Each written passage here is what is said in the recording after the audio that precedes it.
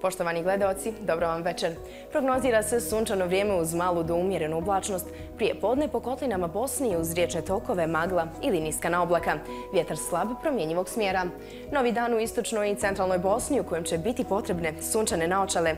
Uz uglavnom obilje sunca, nešto za ostalih niskih oblaka u jutarnjim satima, ali uskoro će uslijediti razvedravanje. Temperaturni maksimum ugodan iznosit će 18 i 19 stepeni.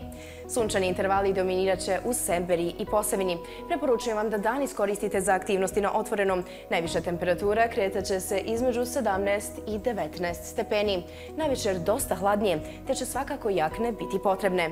Sedmicu ćemo na zapadu i sjeverozapadu naše zemlje započeti uz sunčane intervale. Jutro svježije ponegdje uz maglu i narednih dana uz uglavnom slično vrijeme. Prijeđimo na jug naše zemlje u kojem se očekuje obilje sunca. Kao što sam već spomenula, i u ovoj regiji nemojte da vas jutarnje sunce zavara, budući da će biti hladnije, a kako dan bude odmicao porast vrijednosti zraka, te će živo u termometru dosegnuti do najviše 23. podijoka u Međugorju i Mostaru, što je jedno maksimum u cijeloj zemlji. U Hrvatskoj će ponedjeljak za većinu biti dosta povoljniji i sunčaniji. Jugo će postepeno slabiti dok će na sjeveru zapuhati bura. U susjednoj Srbiji, kao što možemo vidjeti na našoj karti, uz stabilne vremenske prilike. Srijeda donosi novu neobločenje. U gradovima iz okruženja možemo uživati u sunčanom jesenjem danu. Sredina sedmice nešto oblačnija.